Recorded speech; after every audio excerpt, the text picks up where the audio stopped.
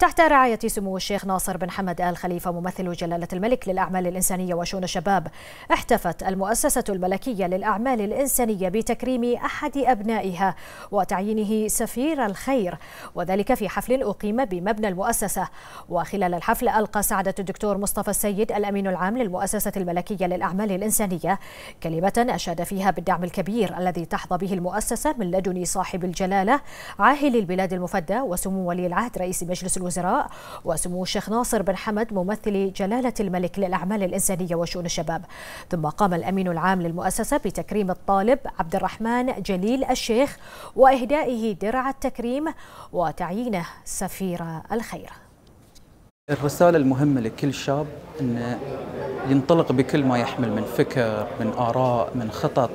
الشاب لا يتوقف اليوم في في فكرة واحدة أو في فكرتين. لابد إنه يخدم بلدنا. هذه البحرين أمانة بيدنا.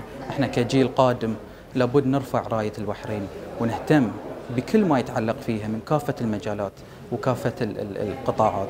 فالرسالة هي وأنا أوصي بها لكل شاب وشابة البحرين أمانة. احملوا اسمها في كافة المجتمعات وكافة الشعوب. لم يأتي آه، هذا المسمى وهذا المنصب من فراغ. أتى بعد دعم من قيادة واعية قيادة حكيمة على مدار 20 عاما في المؤسسة الملكية وهذا نتاج إلى إخلاص الشباب البحريني أبناء المؤسسة في هذا المجال.